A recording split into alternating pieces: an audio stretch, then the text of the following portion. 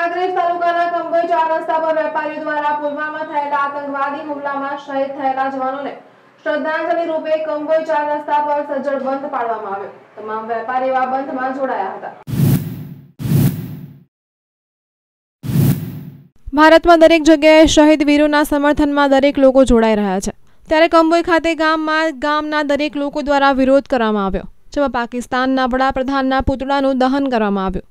તેમજ પાકિસ્તાન મુર્દાબાદના નારા લગાવવામાં આવ્યા. શહીદ થયેલા જવાનોને આત્માને શાંતિ મળે તે માટે બે મિનિટનું મૌન પાડવામાં આવ્યું અને મૌન રેલીનું આયોજન પણ કરવામાં આવ્યું. આ રેલીમાં નાના મોટા ગામના તમામ વેપારી અને લોકો જોડાયા હતા. ચેહરસિંહ વાઘેલા સાથે એનએસ ગુજરાત ન્યૂઝ બનાસકાંઠા.